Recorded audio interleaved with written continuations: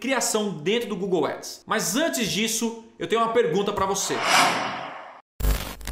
Que é clássica, eu já quero responder aqui antes de entrar em cada etapa dos anúncios no Google. Quantos anúncios eu devo subir nas minhas campanhas? Essa é uma pergunta clássica. No mínimo, três anúncios rodando ao mesmo tempo. E no Google, quanto mais, melhor. Já no Facebook é diferente. Ou seja, você pode subir 30 anúncios uma vez só, não tem problema, porque o Google vai é, é, intensificar os anúncios que tiverem melhor resultado. E isso aqui se chama o quê? Teste AB. O que é teste AB? A procura do anúncio perfeito. Sem teste AB, seu resultado vai ser ruim, tá? É fato. Sem teste AB, seu resultado vai ser ruim. Então, no mínimo três anúncios sempre e quanto mais melhor. E o Google vai intensificar os anúncios que tiverem melhor resultado.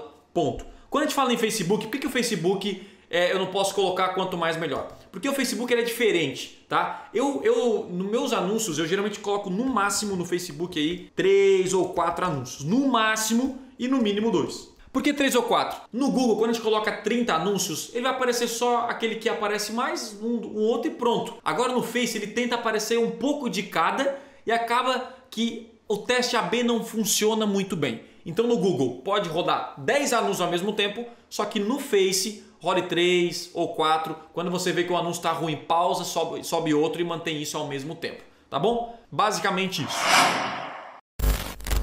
Bom, vendo tudo isso, só vamos falar um pouco sobre os formatos de anúncios no Google. Quando a gente fala em Google Ads, quero anunciar no Google, muita gente foca apenas em um tipo de campanha, né? que é a rede de pesquisa do Google, a famosa rede de pesquisa. Mas no Google você consegue fazer anúncios de texto, anúncios em banners, anúncios em vídeo, anúncios responsivos e muitos outros, e etc. E aqui nós vamos falar de todos os tipos de anúncios, o que você deve fazer com esses anúncios, inclusive aqui, ó, extensões também. E tudo isso vai mudar completamente o seu resultado. Cada tipo de campanha no Google vai ser um tipo de anúncio diferente. Por exemplo, tipos de campanhas no Google. Nós temos aí, primeiro, campanha de pesquisa, né? Já vou falar de cada um. Display, discovery, é, vou colocar aqui campanha de vídeo, né?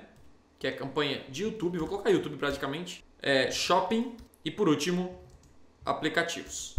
Bom, campanha de pesquisa no Google é quando você vai no próprio Google, faz uma pesquisa, pesquisa e sai aqui, ó. Olha aí, ó. Isso aqui é o próprio Google, né? Isso aqui é a rede de pesquisa. Como é que aparece os anúncios aqui? Aparece em texto. Só apenas texto. Quando você vem no Google e pesquisa a palavra, por exemplo, comprar TV, aparece o que? Imagens. Você não pode fazer banners, isso aqui é de maneira automática. Então isso aqui é para quem tem e-commerce e vende produto físico. Shopping, então é o anúncio, o anúncio com foto do produto mais descrição, certo? E aí nós temos a rede de display do Google, inclusive foi aquela, aquela foto, a foto ali é uma rede de display que a gente viu, o anúncio ali do Sobral, do Érico, que é banners. E também nós temos os responsivos e responsivos. Já vou explicar cada um deles também.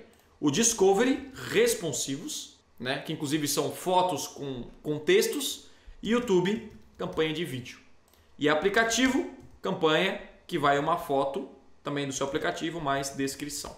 Pronto. Então você vê que no Google tem vários formatos de anúncios. E toda essa comunicação que a gente falou até aqui serve para todos eles.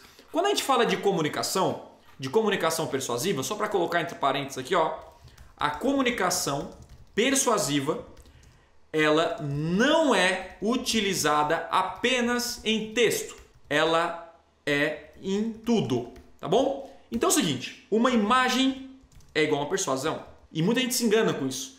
O tom de voz ela é persuasão, a cor é uma persuasão.